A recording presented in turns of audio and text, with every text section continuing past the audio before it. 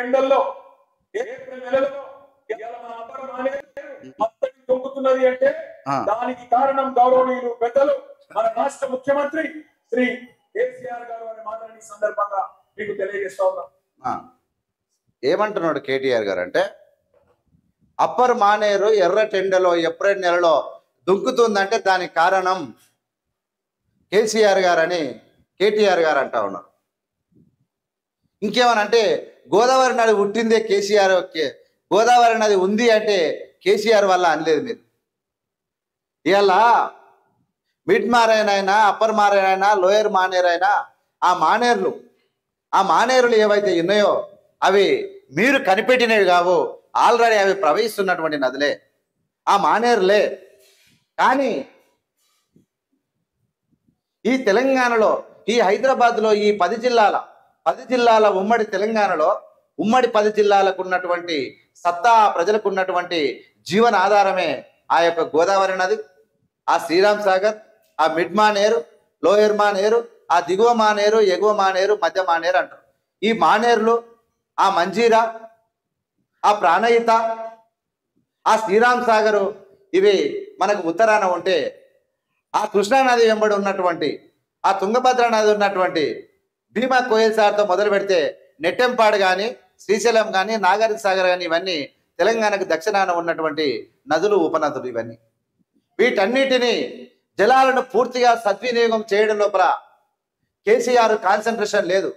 కాసుల మీద మూటల మీద పదవుల మీద ఇవాళ అణచివేత మీద ఉన్నటువంటి సోకు మీ కుటుంబానికి ఇవాళ అభివృద్ధి మీద లేదు అని వెరీ క్లియర్గా కనబడతా ఉన్నది. మీరేందో ఇవాళ గోదావరి నదికి ఆనుకొని ఉన్న సిద్దిపేటకు ఏందో మీరు జోరగబెట్టినట్టు.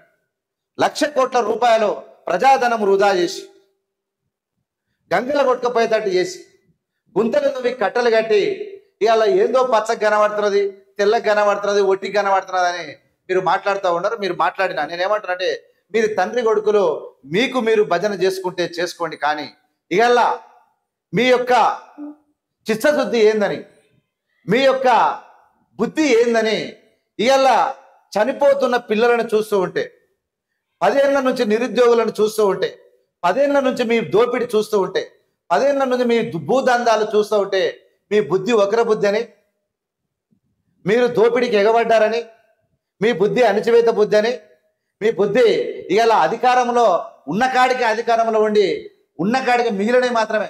మీరు తినంగా మిగిలినవి ప్రజలకు ఇవ్వాలనుకునే వాళ్ళు అని చెప్పి ఇలా ఈ రాష్ట్ర ప్రజలు మొత్తం భావిస్తూ ఉన్నారు. మీరు సిరిసిల్లలో సిరిసిల్లలో దొరికిందంత తెలంగాణ ప్రజల సొమ్మంతా దోసుకుపోయి ఒకవేళ సిరిసిల్ల ప్రజలకు గనక ఈ రాష్ట్రంలో ఉన్న ప్రజల పుట్టగొట్టి ఆడ పెట్టకపోతే రేపు రాష్ట్రం మొత్తము దోచుకున్నది అన్నటువంటి అందరు వ్యతిరేక వేయబడ్డప్పుడు ఆ ప్రజలు మనలో ఓడిస్తారు. ఈ మాత్రం అన్న మనం చేయాలి. రాష్ట్రం మొత్తం కేజీ టూ పీజీ విద్య కట్టిన విద్య అని చెప్పి కూడా సిరిసిల్ల మాత్రమే చేసి చూడాలి అనేటువంటి ఆలోచనతో మీరు పని చేసినట్టు వెరీ క్లియర్గా కనబడుతుంది. మీరు డబ్బలు ఏం కొడతారో కొట్టండి. మేము కూడా మాట్లాడతాం మేము మా ప్రజలకు వినిపెడతాం. మా ప్రజలు తెలుసుకుంటారు.